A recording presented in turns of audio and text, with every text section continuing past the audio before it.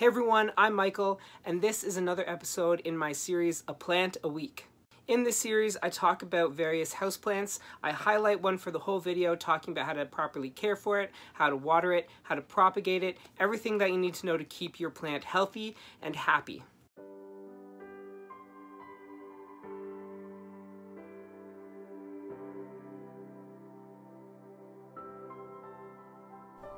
This plant is called Breynia nivosa, or as it's more commonly known, snowbush.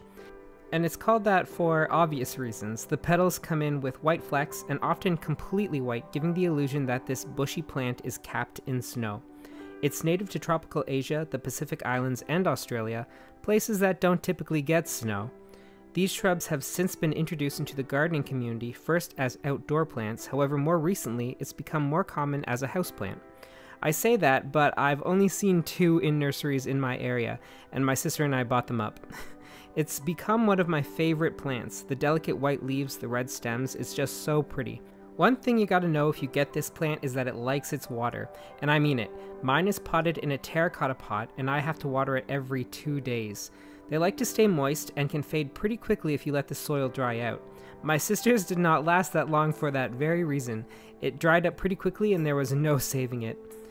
They also like to be in a more humid place and prefer humidity at around or above 50%. This plant is a bit finicky and will drop leaves if it's not getting the water or humidity requirements it needs. As far as soil goes, because it likes to have moist feet, you could get away with planting this directly into potting soil. You could add a little perlite if you're a heavy-handed waterer, but mine is just in potting soil and I still have to water it every two days. The shrub is fast growing and you'll want to repot it every couple of years. It's ideal to repot in the spring, right before the growing season, but if your plant is outgrowing its current home, it's best to just give it a repot anytime that it needs it. When I first purchased this plant, I had no idea how to care for it, and a few places told me that it could handle lower light. So at first I had it in a lower light area, and it lost all of its top leaves.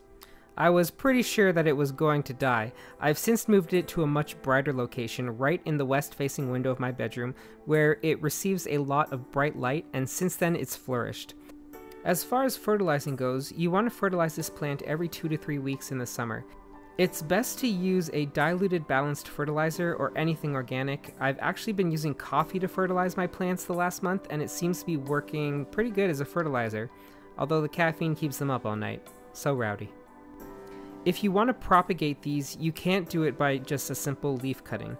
These are woody shrubs, so the best way to propagate is through stem cuttings. Take a significant portion of a stem with leaves, cut it below a node, and place that in moist potting mix. It'd also really help if you placed that cutting in a terrarium or cover it in plastic, as long as it's in a high humidity place, at least until it roots. In terms of pests, you might think the snowbush would be prone to fungus gnats, what with its constantly moist soil, but I've actually found it's rather resilient to pests. I occasionally have problems with fungus gnats thanks to my heavy watering hand, but not so much with this plant.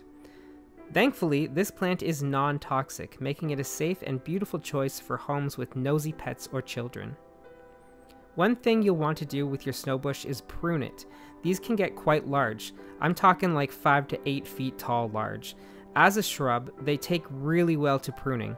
When pruning, make sure to cut back just before a leaf node. In this way, you can shape your snowbush how you like.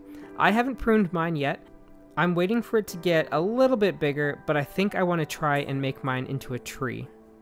In my 20 plant questions video, I said that this is probably one of the rarest plants in my collection, and that's simply because this snowbush is one of two that I've seen in my whole life. It's just so beautiful and delicate though.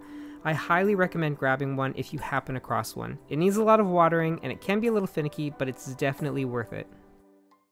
Thanks again for watching. Remember to like and subscribe for similar content. On Mondays, I post videos about houseplants. And on Fridays, I also post videos about houseplants, and reading, writing, photography, art, and any other generic interests of mine. As always, you can find my social media links in the description below. Also, you can find links to H&H Games, the board game company I've helped create, and our debut board game, Season of Heroes. You can also find the Amazon links to my fantasy series, A Chronicle of Crowns. Thanks for watching, bye!